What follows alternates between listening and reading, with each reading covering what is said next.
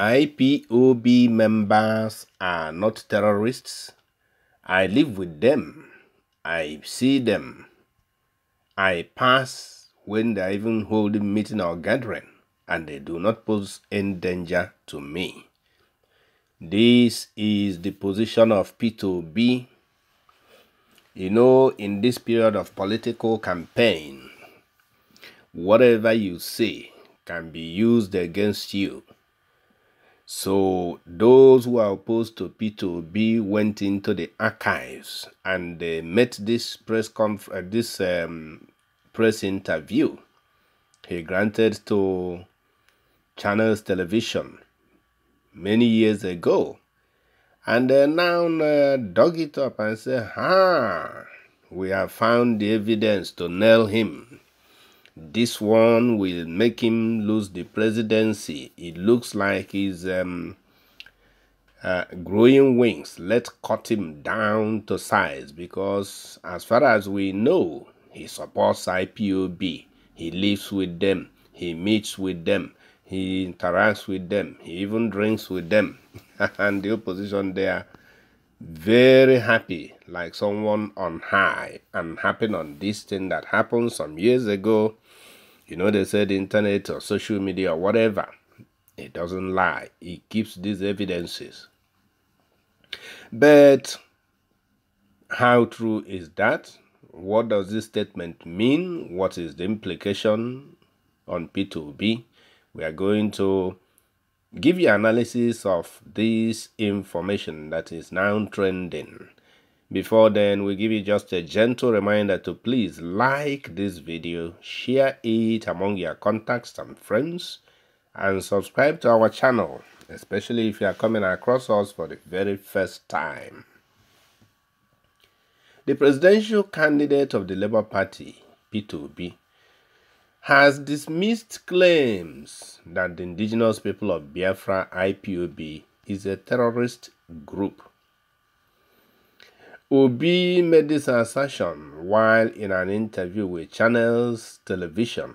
He stated that IPOB members live around him and do not constitute a threat to the country. He said the only thing I disagree with is naming IPOB terrorists.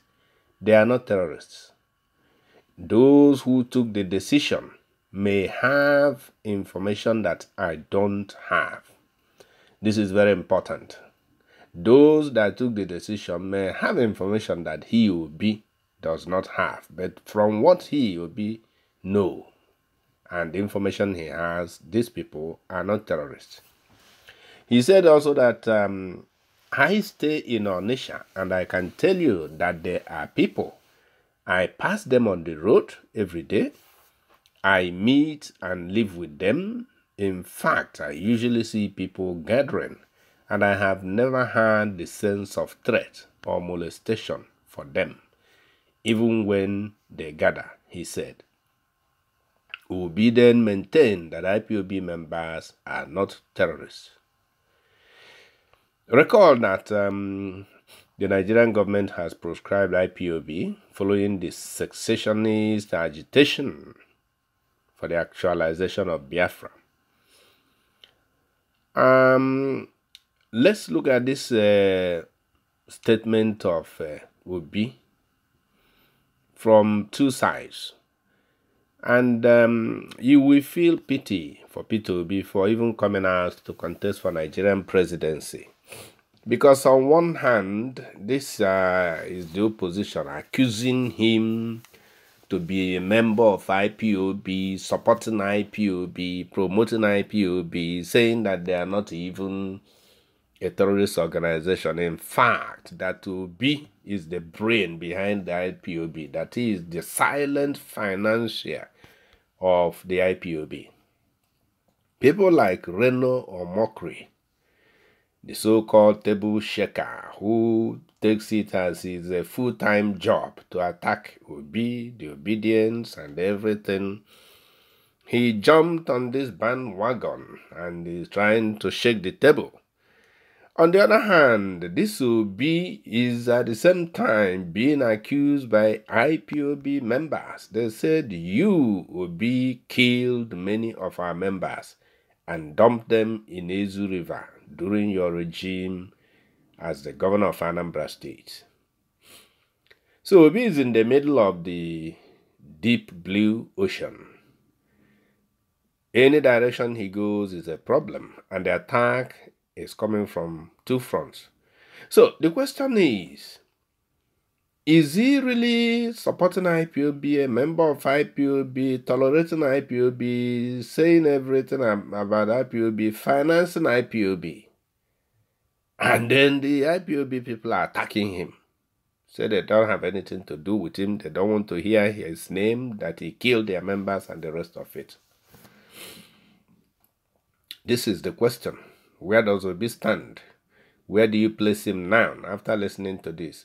And by the way, he said that they are not a terrorist organization. And this is largely or what the whole world agrees on. The whole international community agrees that IPOB are not terrorists. It is only the Nigerian government that says so. And terrorism is a global phenomenon.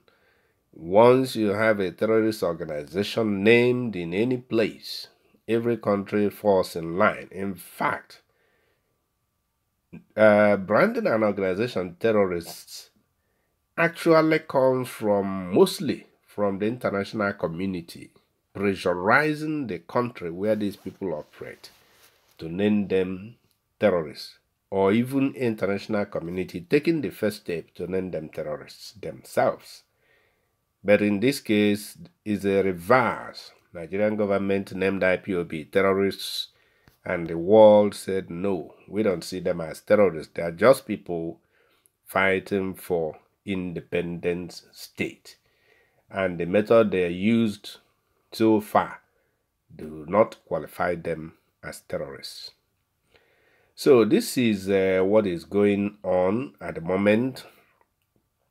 If you're a politician, every dirty linen concerning you your opponents will dig it up and wash it out there in the public.